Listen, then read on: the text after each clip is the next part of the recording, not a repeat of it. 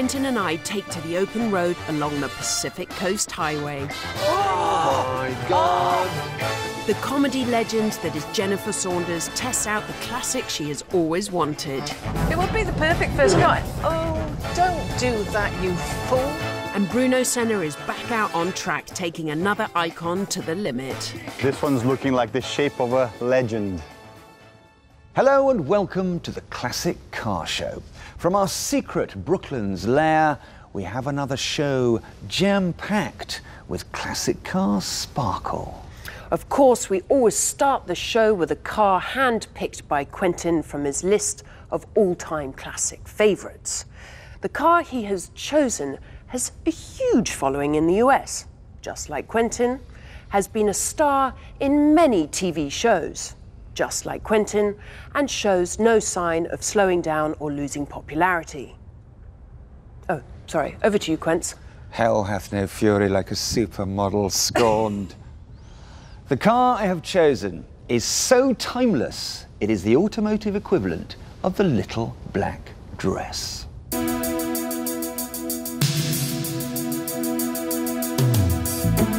The novelist P.J. O'Rourke once wrote, There are a number of mechanical devices which increase sexual arousal, particularly among women. Chief of these is the Mercedes-Benz SL convertible. The SL began life as the car of mistresses and trophy wives. But you'd think that after 40 years, that soft feminine image would have faded away like all beauty queens. But it hasn't. SLs still radiate a coiffured, perfumed elegance, and real men don't eat quiche or drive Mercedes SLs. Or do they?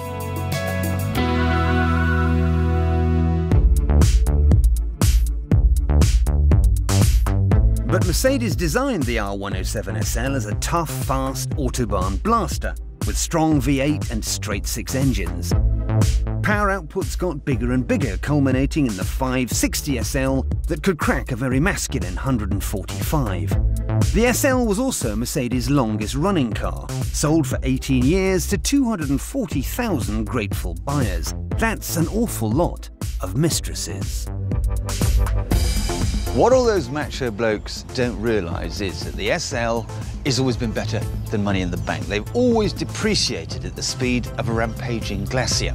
This is a 1986 420 SL, and back in 1986 it cost £29,000. It has just been sold for 28 large.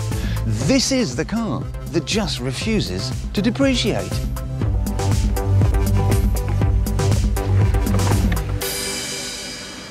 And that's partly because in the 70s and 80s flashbulbs of fame, there was always an SL. JR and Bobby Ewing drove them in Dallas. They were in the opening sequence of Hart to Hart, plus a zillion other US TV shows and Hollywood movies. For me, the most astonishing thing about this car is that it never did that thing that second-hand cars do, which is a sad swallow dive into rusty worthlessness. It began production in the flower power era, finished it in acid house, and in those two decades and the two decades that follow it, it's always been on people's wanted lists. It's always made its money. Could this then be that rich and strange thing? The perfect car.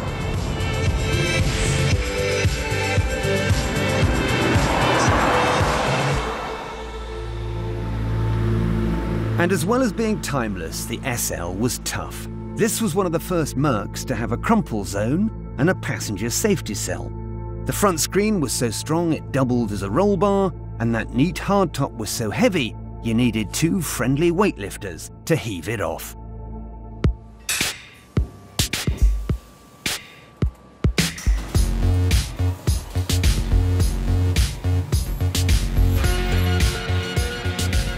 Even the interior was engineered like no other car.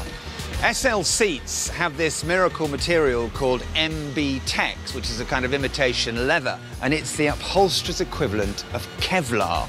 And the carpets, the weave is so tight and so dense that they literally wear away at the speed of paving stones. So this really is one of the best built Mercedes of the post-war era. And they used to call it, in the factory, one and a half tons worth of Der Panzerwagen. And as we know, the Germans know a thing or two about building tanks.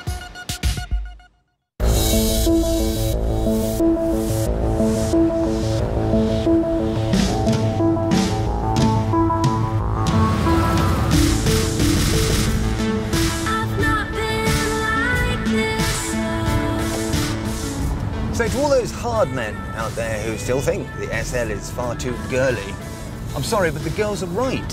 This is that rare thing, a common sense classic car that you don't have to suffer to drive. It's snug, it's reliable, it's fast, and it will make you money. What is feminine, soft, blousy, or daft about that? Nothing.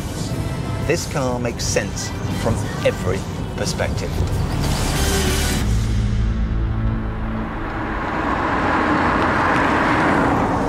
Now here's the thing, you can still go out and buy a decent SL for 5,000 quid.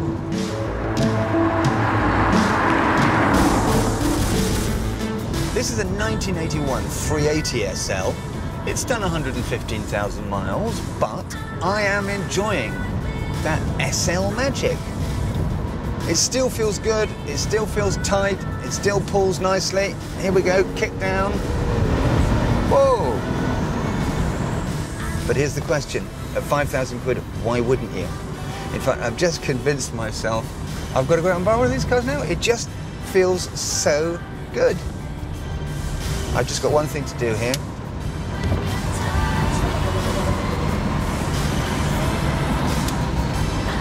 There, that feels better. But to really test the SL's timeless class, we have to do what's known as the valet parking test. If you've got a cool car, a hotel car jockey will always park it out the front, but if it's rubbish, you get relegated to the multi-storey round the back. So here we are, posh hotel, gravel drive. What's he gonna do? Is he gonna bury it, or is he going to display it proudly out front?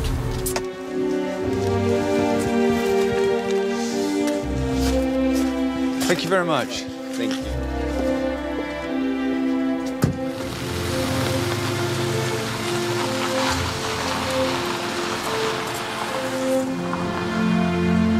Well, our SL has passed the ultimate test, and he's parked it there because it looks so totally on the money. The SL from the 1980s would either be a classic red Chanel handbag um, or a really sexy pair of red Manolo Blahnik pointy shoes that make your legs look brilliant, just like the SL. It's not a woman's car at all. Um, there are many hairdressers' cars around at the moment that um, are meant to be cars for men, and they're not. Um, and I've heard it said that it's a woman's car, but it's not at all. It's a guy's car, fantastic car. I feel like, you know, sometimes you hit the nail on the head with, with everything. You know, it could be a jeans brand like Levi's, or it could be, you know, a, a car, a classic car like the SL, where they just get, they capture a moment in time and it just sticks.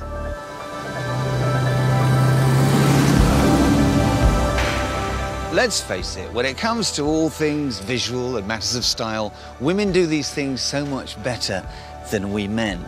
And all those trophy wives and mistresses back in the 70s, they made this an instant classic because they knew.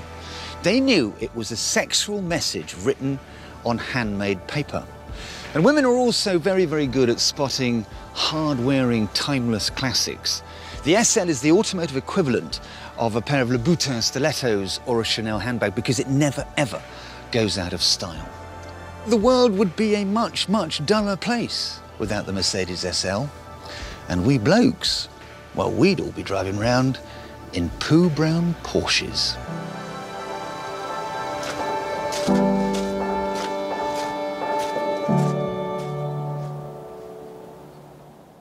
Quince, very in touch with your feminine side. Who knew? I'm a closet feminist. Yeah. Women know so much about style. I have a soft you. spot for their soft spots. but I also have a soft spot for that SL because Beautiful. It is such an all-round classic. And Yeah. they won't be that cheap for long, Joe. They are going up as we speak. Yeah. And one would suit you. Looking at that, I suddenly went, right, that is it. I've got to get one. Because they're so timeless, so beautiful. And you could use it every day. Yeah, absolutely. Well, we're off to a stylish start. But stay with us as Quentin and myself go very Thelma and Louise on our biggest road trip yet.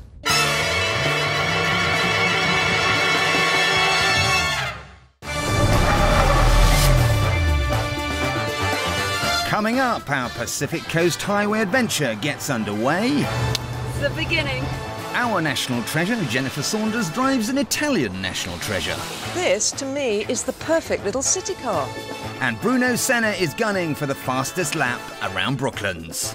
It's one of the most beautiful cars ever made. Now, in between shows, Quentin and myself have a lot of time to talk about what car we want to test and, of course, where we want to visit. And as you can imagine, there's a lot of arguing, cattiness, name calling, throwing of telephones. But there was one road that we both agreed we simply had to travel. And I won the resulting coin toss and got to choose the car.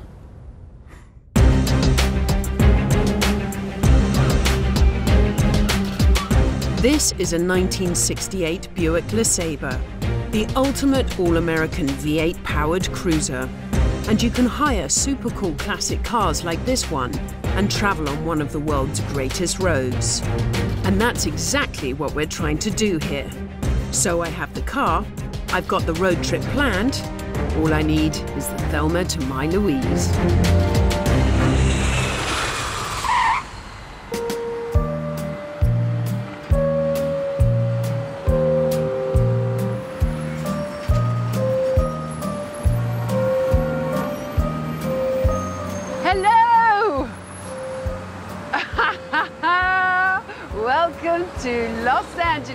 Baby. What do you think? It's a 1968 Buick LeSabre. It's fantastic. Oh, I was so worried that you were going to be very moody. I know, because I was a bit late, not very good at time. I mean, it's just, whoa. Yeah? Come on, let's hit the road, Jack. Oh, let's get it in the right gear. Off we go. I know you don't know really what we're going to do for a couple of days, so I would like to take you on the ultimate road trip. I want to take you all the way to San Francisco on the Pacific Coast Whoa, Highway. PCH, Highway the 1. PCH. The aim of our road trip is to take on the Pacific Coast Highway from downtown LA all the way up the 400 miles of beautiful coastline to San Francisco and the Golden Gate Bridge in three days. But before we hit the freeway, I had a treat in store for Quentin. Actor, producer, racing driver, star of Karate Kid, and son of a Hollywood legend, Chad McQueen. Hey! Hey, kid, how are you? I'm all right. How are you? I'm glad you called. Good to see you, baby. Oh, you look great, you too. How's everything? Very, very good. Hey, man. This is Quentin. Pleasure. How you doing? You Honor. too, pal. Chad. Thank you, thank you. I wanted to put you guys together because Quentin is a huge fan. Okay. I'm an open book, whatever you want. So your father was just one of the most incredible car guys in the world. We're heading up to San Francisco. Bullitt, it was filmed there. It is still one of the most iconic car chases ever. It's never been surpassed. I mean, it's been, what, almost 50 years now, and that film still, it's the best car chase ever on film. It's just legendary. Nothing has ever come close to that. And that Highland Green GT 67 Mustang, your dad and that car are one. We have good taste, man. I told you you'd like each other. So look, we're going to do the PCH, America's greatest road. Tell us. You know, uh, I think I'll pass on a ride, no offense. But you think we're going to blend in, okay? I think uh, you'll stick out like a sore thumb. but it's good. Uh, you're gonna love it. Santa Barbara, Carmel, San Fran. Enjoy and be safe, all right? We will. Give me some sugar. So much. All right, see you so later. lovely You too, you honey. again, and you Be good. take care. You too. Oh, bless you. Chad, it really, really All right, has man. been Take care. a pleasure and a privilege. Thank you Be so good. much for spending Drive your safe. time. We will. And you, All right, and man. you, in there.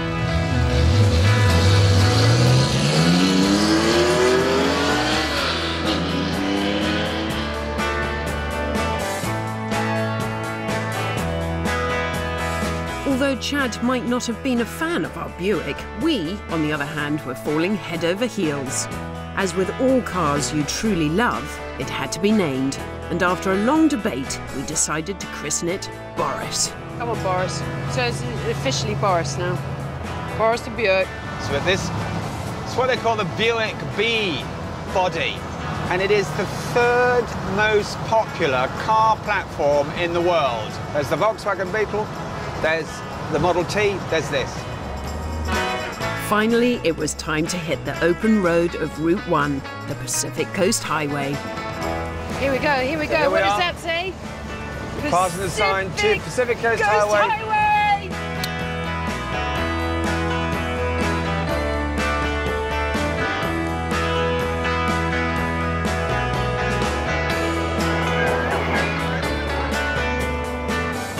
You've got Randolph Hearst had a mansion here. Yeah. Uh, you've got John Paul Getty. And every film star from Cher to Martin Sheen to you, you name it, they've all lived up here. Wow. It's the place to be. After chatting with Chad, hitting the highway, and naming our Buick, day one was done, and it was going to take some beating.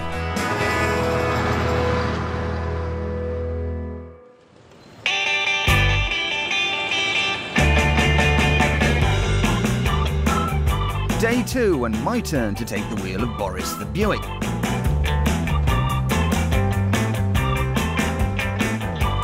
Day one had seen us shimmy our way from LAX Airport to Santa Barbara.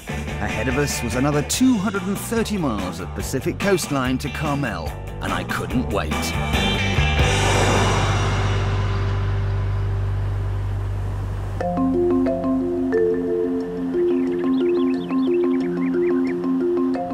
Well, this is the Santa Maria Wine Valley, and it's a bit of the PCH that's a bit boring. Yeah. So you turn off, this is known as Palmer Road, Yeah. come up here, and here it is. This is a lovely, lovely detour. And, it, and you can take it and it takes you off the Pacific Coast Highway and back on. Yep. And you can stop at little wineries and do tastings and things like this. How lovely. Of all the road trips you could go on, hmm. This is the honey, this is the Lulu. It really, really is. So varied, so so wild, so so dramatic, so so much fun. And I am so in love with this car. No, I knew as soon as you start driving him. Oh, good Yeah, old but I mean, it's, it's not just a casual fling. This this car and I are so connected. I'm just so loving it. Uh, yeah, okay, so we've gone out of dating, we're now into a full-on Oh relationship. yeah, unconditional love here, baby. Really?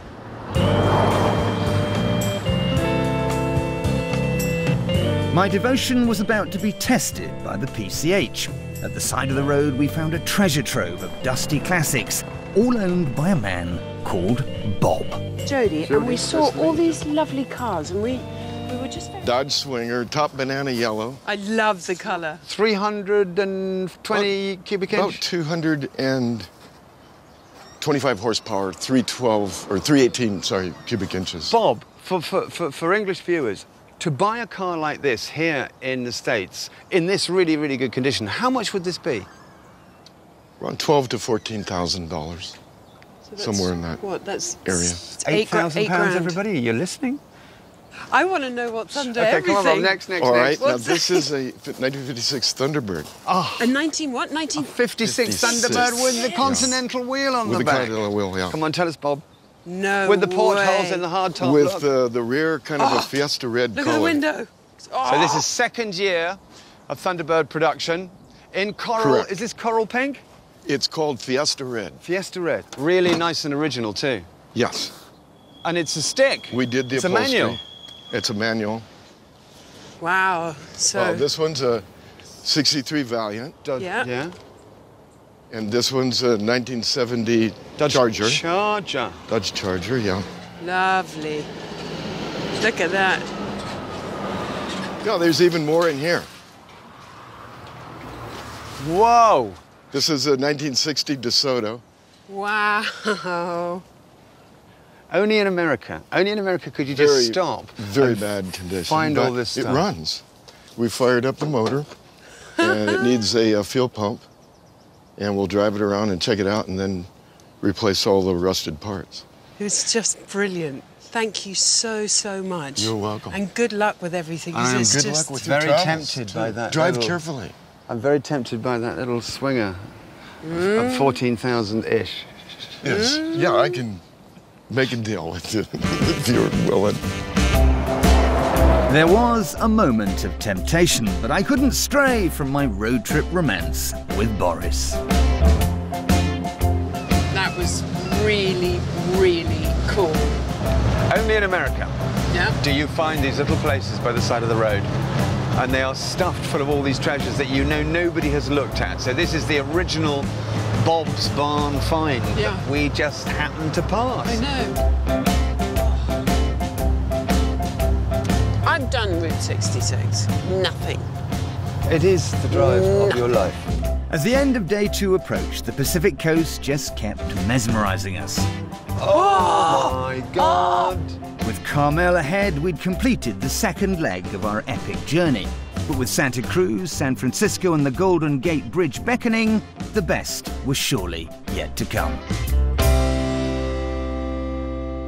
More of our PCH adventure to come, but I have to hand it to you, Jodie. That 68 Buick, what a motor! So cool. Classic American cars of that era, such value for money. 15,000, 20,000 pounds buys you all that fun. So they will start to go up. And you can bring them back quite cheaply as well. And you can buy them already here. Sometimes they're cheaper here than they are in the States. Anyway, don't go anywhere as national treasure Jennifer Saunders will be driving her favourite classic car.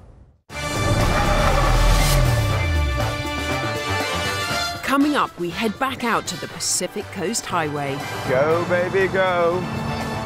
National treasure Jennifer Saunders tests out one of Italy's best exports. And Bruno Senna throws another classic around the Brooklands track. Coming up, a very special treat. What, you taking the rest of the show off? No, we're going to have someone who can tell funny jokes. A national institution and a fine comedian, the thoroughly wonderful Jennifer Saunders.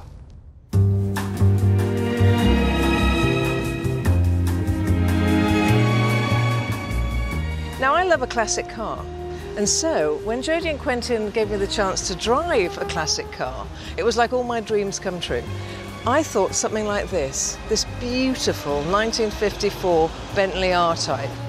But we're driving in London, and this is 18 foot long. So, I changed my mind. Instead, I'm going to be driving this gorgeous little Italian baby, La Bambina, the Fiat Cinquecento. In fact, it's only got 479 cc's, and we all know that. But this, to me, is the perfect little city car.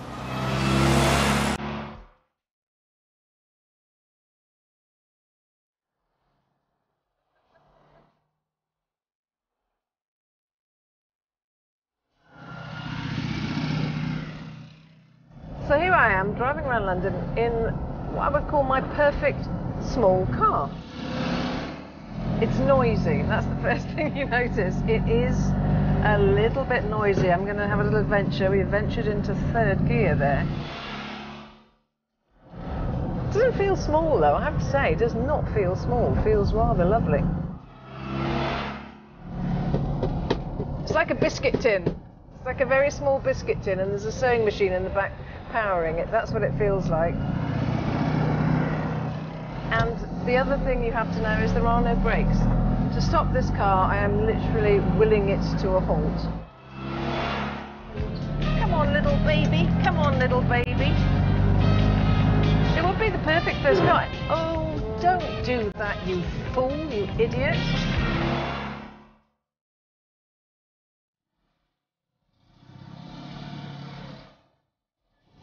Ah.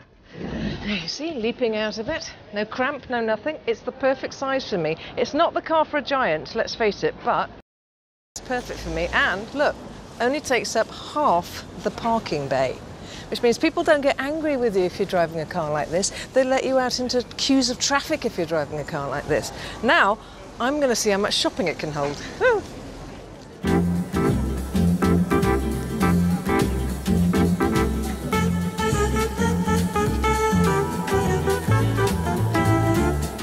Here we are. I've done a, a sort of average amount of fake shopping, and I'm right. So this this is your boot, bonnet, trunk, whatever you like to call it. Um, most of which is taken up rather frighteningly with the fuel tank, which is astounding. But it's strapped on. It's beautifully strapped in there. But I think probably, probably, it's a lovely tinny noise. Um, the back seat's probably the thing. Yeah, here we go. Oh, come on, fake shopping. Where are we going to put you? Right, this is my average amount of fake shopping that I would normally do on a normal day. And actually, there's plenty of room because I'm going to put it all on the back seat, where there is a lot of room. In fact, room for two people if you were desperate, has to be said. It doesn't feel small. I know it is tiny, but I think because the doors are so thin, it doesn't feel small.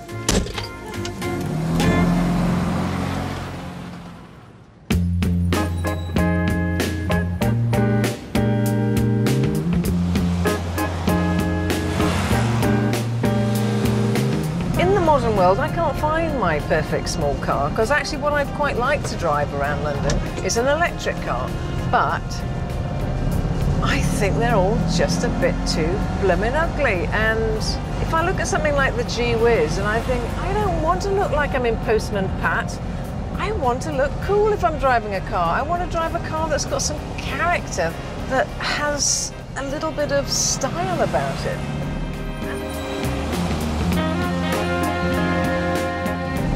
And I just think, why don't Fiat make an electric version of this? It would be, honestly, ideal.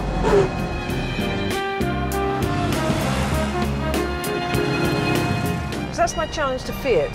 Make this into a lovely little electric car, and I think you'd watch your profits go up, mates. I think it would be an absolute winner.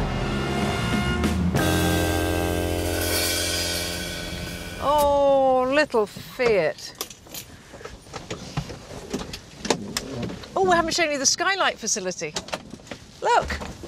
Hello. I love it. I kind of thought that maybe I wouldn't. Maybe it'd be too primitive to drive, and maybe by having a chance to actually drive one, I'd think, no, actually, modern car's much better. But it's gorgeous. It's just a matter of, you know, getting back into the way of, of driving properly. And this would be lovely if it was electric Fiat, wouldn't it?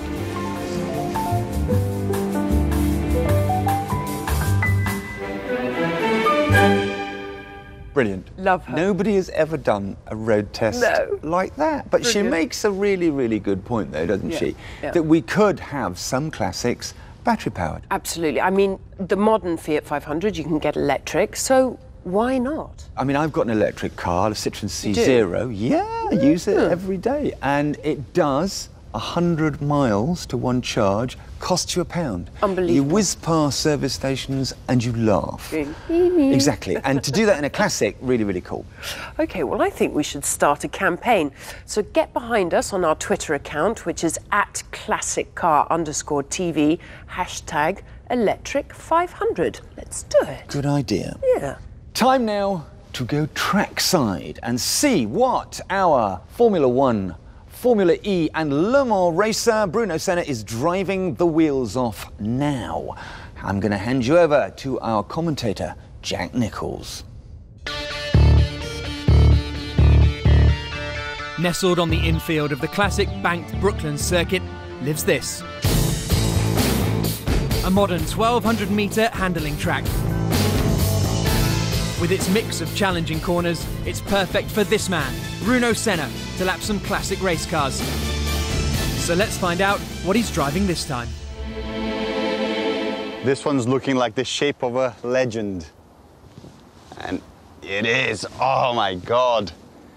1955 Gullwing 300 SL. It's one of the most beautiful cars ever made, and I'm sure it's going to be lovely on this track. Launched at the 1954 New York Auto Show, the Mercedes 300 SL Gullwing is arguably the first supercar pinup. Its game changing fuel injected 3 litre engine and slippery aerodynamic shape meant that the SL could achieve a then record breaking top speed of 160 miles an hour. The SL also enjoyed some success in motorsport, finishing fourth in the 1955 Mille Miglia and winning the Rally Stella Alpina in the same year.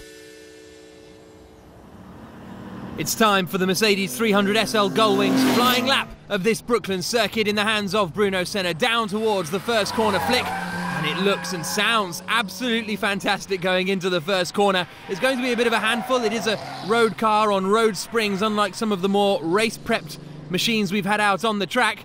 For example, the Jaguar E-Type Lightweight, which has the quickest time at the moment, and it's that split that Bruno's going to be challenging now as he comes through the right-hander towards the split line. Through he comes, and he's just over three and a half seconds down, but also very sideways. A real handful out there on the circuit. The 300 SL has actually gone quicker in that first split than the SL Pagoda that we've already had out. That Pagoda, some nine years younger than the 300 SL. So impressive nevertheless. Look how big the steering wheel is in Senna's hands, having to work really hard as he comes through the final corner. Now he's into the strength of the 300 SL, the straight line blast towards the line. Here he comes now, and the time to beat is 48.284, and it's just over eight seconds down. Well, this was hard work. Very handful, you know, the whole time you're catching the front and the rear the whole the whole time and it's like braking mid-corner exit all the time fighting the car. It's amazing how this car is like strong and if, as long as you respect it, you can still go. But if you pass a little bit on the limit, then it will bite you pretty bad. I think is the, the one that will bite you the, the, the hardest of all the other cars. That beautiful 300 SL looked like a real handful round our track, but Bruno managed to get it round in 56.409, which means it sits between the two younger other Mercedes. So not bad for a car that was built in the 1950s.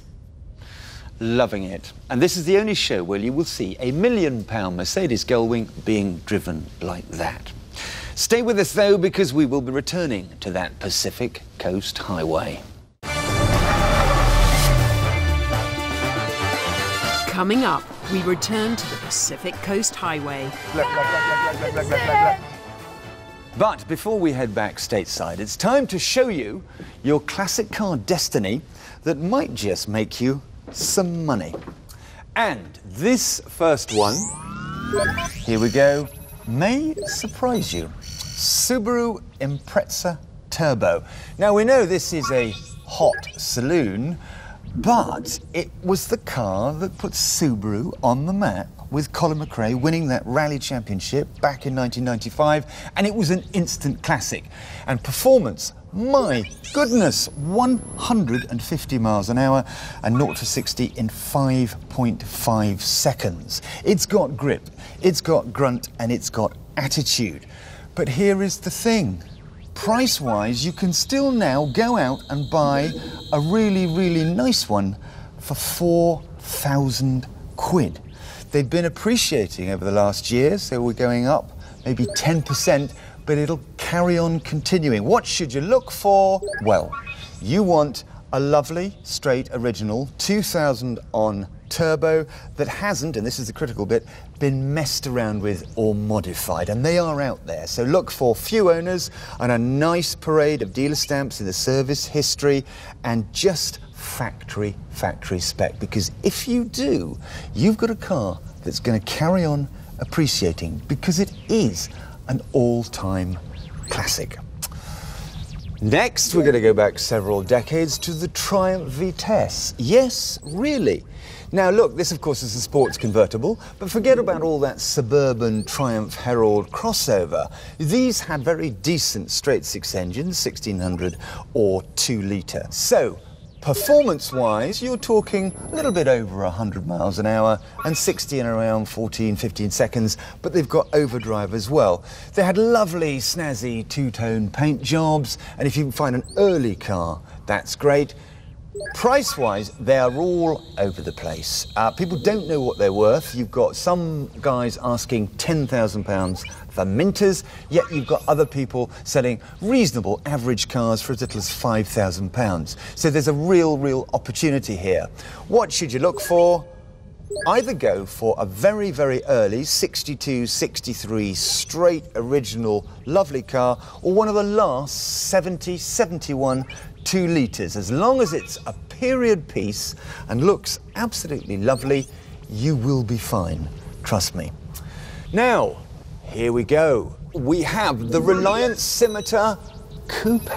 Now, I know you've never heard of it, but before the GTE Estate, Reliant made a coupe. Now, this is a really cute, cool car, fiberglass body, and great Ford engines, straight 6 2.5 or V6 3 litre. So, performance is really good 120 miles an hour and 0 to 60 in around 11 seconds.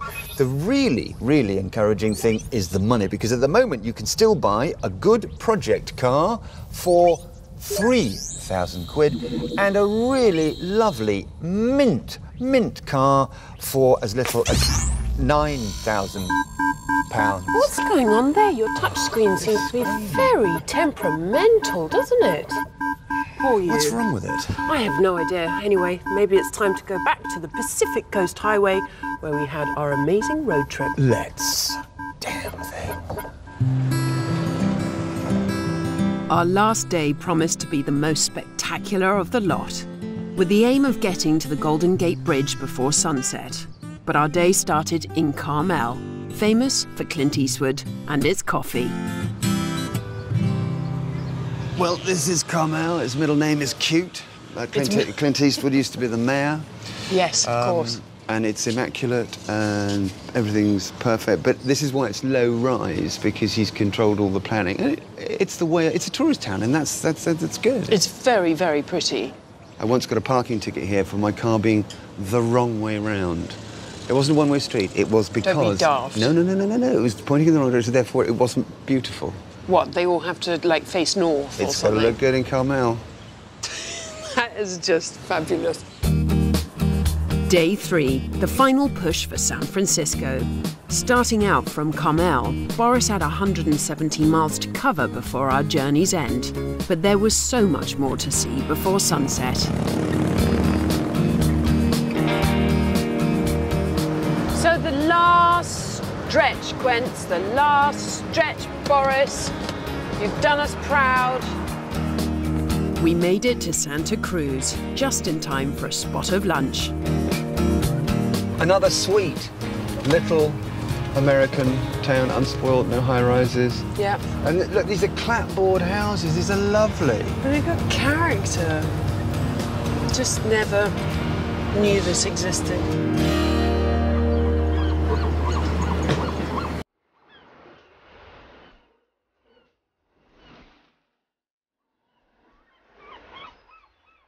Just another little bit of the Pacific Coast Highway. now, now we've got to have some seafood. A dozen of your oysters, a fish taco, and Fish taco, that's it. another fringe benefit of the PCH. Oysters, a dozen, ten pounds out the Pacific.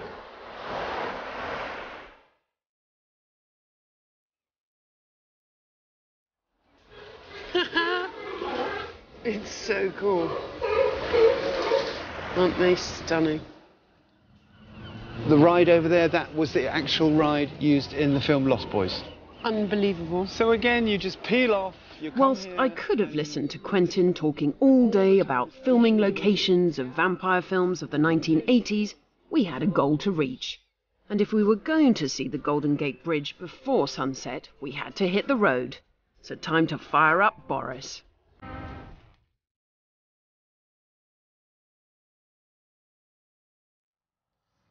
So, on to San Francisco. Go, baby, go.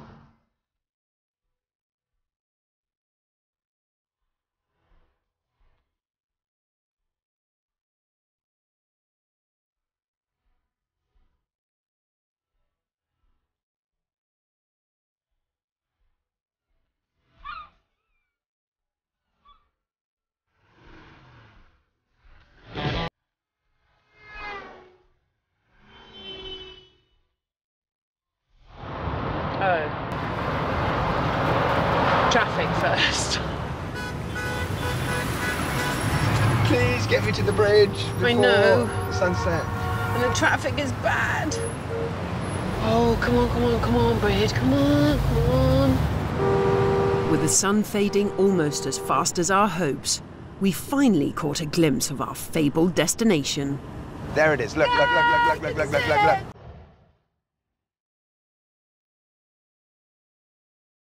But we can see it. It is a comforting sight. We're going to make it, Jed.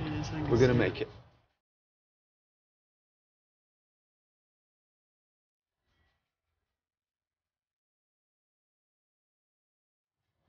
What a wonderful, wonderful couple of days. I highly, highly recommend anyone that has a chance to do this. It is very special. But you want to be careful about the driver sometimes.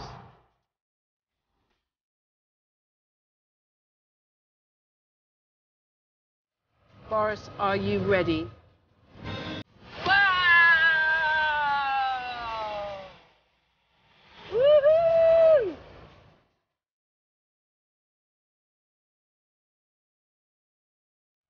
Well, Look at that.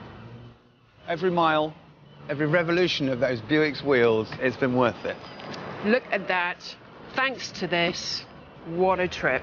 Look, it's been a really lovely drive. It and we has. haven't rowed, we haven't fought. No, not yet. Not yet, Mr. Willson. You've been the best co-pilot driver ever. Yeah, Thank you so much. What a trip.